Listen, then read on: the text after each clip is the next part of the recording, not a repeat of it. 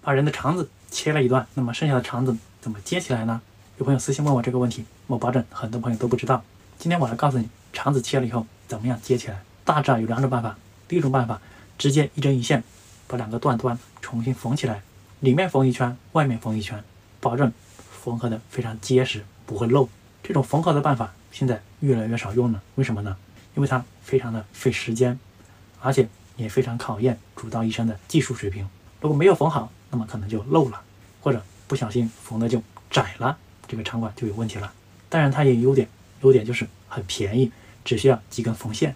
那么第二种办法。现在有各种的闭合器、吻合器，这些仪器在切割的同时可以闭合，它上面有好几排的钉子，在切割肠管的同时，它可以把那一端给闭上，用钉子给钉上了。那么这个钉子最后可能一直留在身体里面。切割闭合器或者是吻合器的优点就是快，比如说圆形吻合器，把两个段端靠在一起，它有一个蘑菇头埋在一个段端，另外一头放在另外一个段端，把它两个靠在一起，咔嚓一按。就同时完成了切割和闭合，这个两个段段就弄在一起了，非常的快，几秒钟就完事儿了。而且它的吻合比人手工吻合更加的确切，技术难度也降低了很多。还可以根据人的肠管的不同粗细选择不同型号的吻合器。当然它也有缺点，缺点就是贵，一个进口的吻合器好几千块钱。当然现在也有一些国产的吻合器了，价格越来越低。